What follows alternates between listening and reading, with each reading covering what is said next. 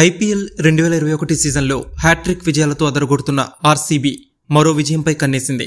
గురువారం వాంఖడే మైదానం వేదికగా జరిగే మ్యాచ్లో రాజస్థాన్ రాయల్స్ని ఢీ కొట్టబోతుంది అటు బ్యాటింగ్ ఇటు బౌలింగ్లో సత్తా చాటుతున్న కోహ్లీ సేన బలంగా ఉంది.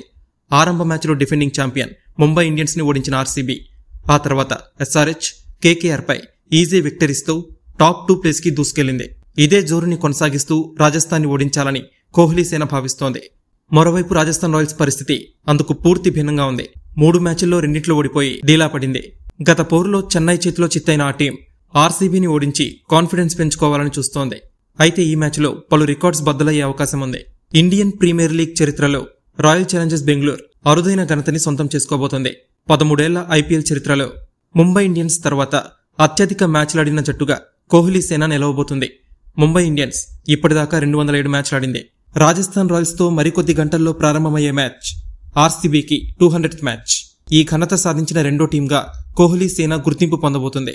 ఇక ఇవాల్టి మ్యాచ్లో ఏబీ డివిలియర్స్ మరో ఇరవై ఆరు పరుగులు చేస్తే ఐపీఎల్లో ఐదు వేల పరుగులు పూర్తి చేసిన ఆటగాడిగా నిలుస్తాడు.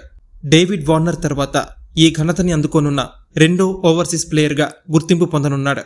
ఈ మ్యాచ్లో విరాట్ కోహ్లీ మరో యాభై ఒక్క పరుగులు చేస్తే ఐపీఎల్లో ఆరు వేల పరుగులు పూర్తి చేసిన తొలి బ్యాట్స్మెన్గా రికార్డు సృష్టించబోతున్నాడు. అలానే ఈ మ్యాచ్లో గ్లెన్ మ్యాక్స్వెల్ ఒక్క సిక్స్ కొడితే ఐపీఎల్లో వంద సిక్స్ల మార్కుని అందుకోనున్నాడు.